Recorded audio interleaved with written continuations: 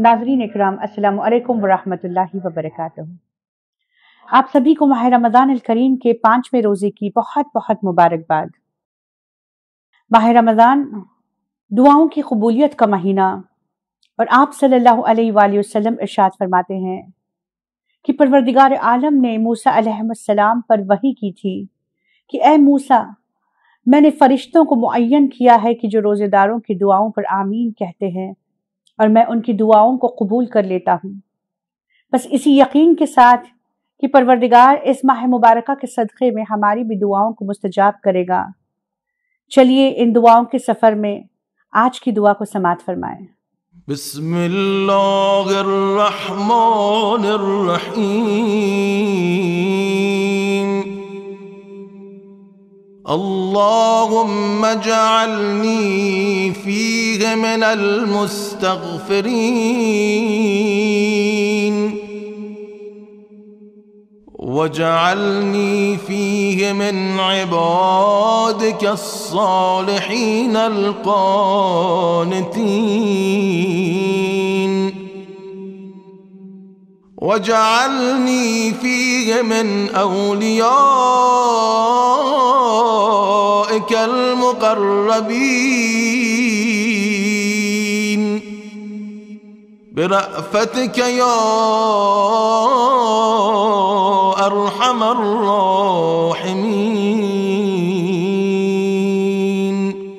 आमीन या रब्बल आलमीन अल्हम्दुलिल्लाह आज हमने अपने परवरदिगार की बारगाह में ये सवाल किया कि ए मेरे माबूद ए मेरे मालिक के हकीकी इस माह मुबारक में आज के दिन हमें ये तौफीक अता फरमा कि हम तेरी बारगाह में तौबा और इस्तगफार कर सके।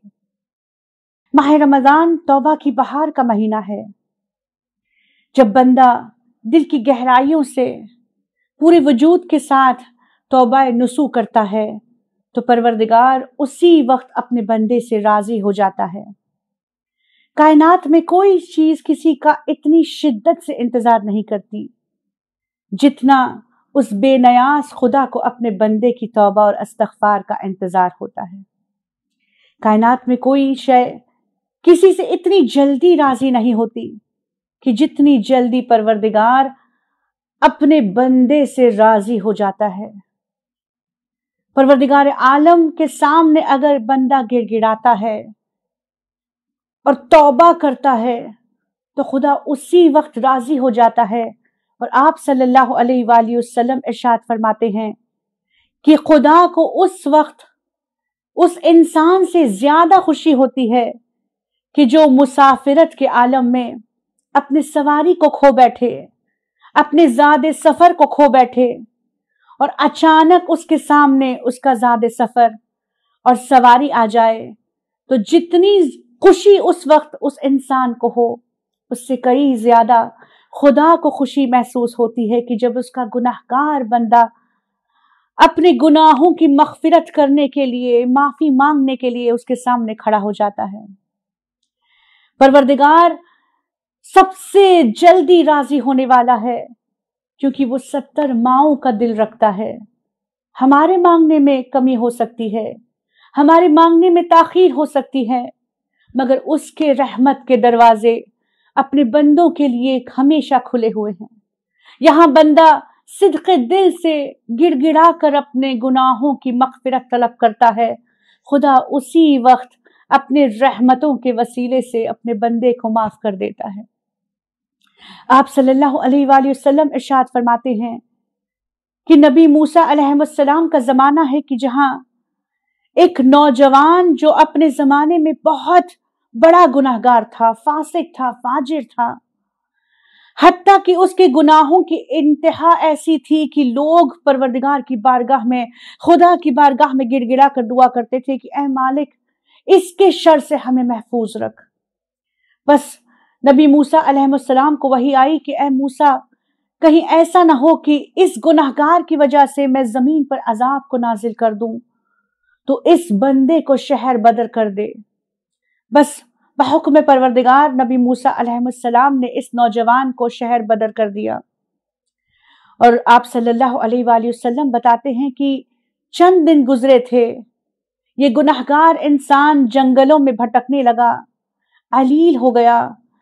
और वक्त आखिर जहाँ जानकनी का आलम आया तो उसे अपने गुनाहों का एहसास हुआ, अपनी गलतियों का एहसास हुआ।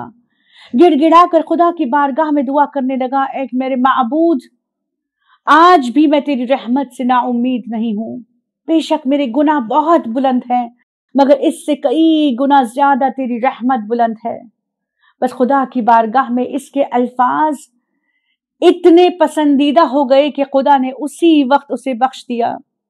फिर वो कहने लगा कि ए मेरे माबूद, अगर आज इस आखिरी लम्हात में मेरे वालदेन होते तो मुझ पर गिरिया करते। मेरे बाली ने सिराने खड़े होते। मेरी अगर जौजा होती तो तजहीज और तदफीन का इंतज़ाम हो जाता। मेरे बच्चे होते तो मेरी दिलजोई करते।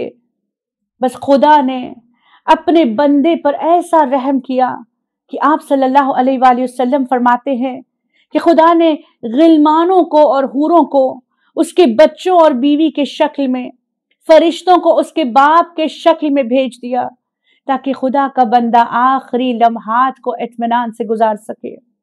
और यहाँ इस बंदे का इंतकाल हुआ।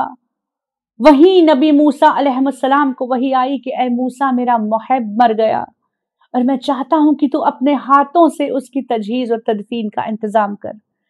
नबी मूसा परेशान है कि ऐसा कौन सा बंदा है कि जिसे खुदा अपना महब मुहब करके पुकार रहा है।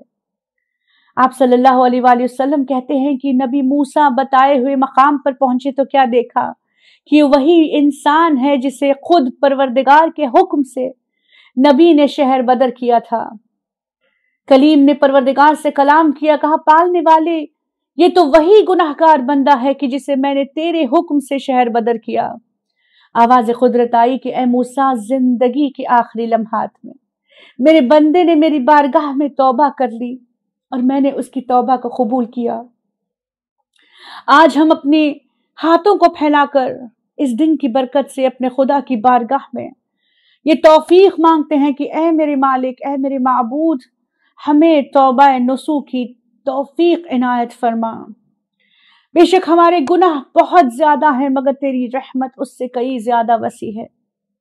आज हम अपने परवरदिगार की बारगाह में ये भी दुआ करते हैं कि ए मेरे पालने वाले तू हमें अपना मुची और फरमा बरदार बनने की तोफीक इनायत फरमा।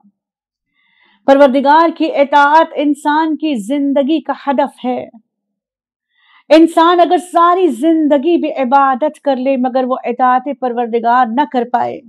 यानी बस नमाजों को अदा कर रहा है, रोजों को अदा कर रहा है, सजदों पे सजदे कर रहा है, मगर दूसरे तरफ़ वो गुनाह पर गुनाह कर रहा है।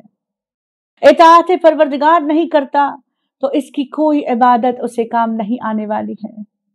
शैतान मलऊन का वाकया हमारे लिए इबरत है कि ये वो मलऊन है कि जिसने बारह हज़ार साल परवरदिगार की इबादत की अपनी इबादतों की वजह से उसे जवार रहमत में ले जाया गया। फरिश्तों में उठना बैठना हुआ, फरिश्तों के सफ़ों में परवरदिगार की इबादत करने लगा। मगर आप सल्लल्लाहु अलैहि वसल्लम इरशाद फरमाते हैं कि जहाँ परवरदिगार का हुक्म हुआ कि आदम के पुतले के सामने सजदा रेज हो जाओ तो ये मलून कह उठा कि ऐ मेरे माबूद, इस एक सजदे की छूट दे दे। ऐसी इबादत करूँगा कि जैसे किसी मलक ने न की होगी। बस परवरदिगार की बारगाह में ये अल्फाज नागवार गुजरे और खुदा ने हमेशा के लिए जलालत का तोख पहनाकर अपने बज्म से उसे निकाल दिया। ये हमारे लिए इबरत का मकाम है। ए मेरे मबूद, आज हम इस मुबारक महीने के सदक़े से, इस दिन के सदक़े से, रोजेदारों के रोज़े के हवाले से, उनके वसीले से हम दुआ मांगते हैं कि हमें तेरा गुजार बंदा बनाने की तौफीक फरमा। परवरदिगार, हम अपनी ज़िंदगी गुजारें तो तेरी रजा में गुजारें।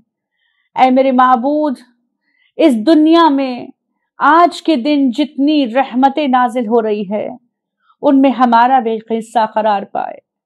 आखिर दावाना अनिल रबालमीन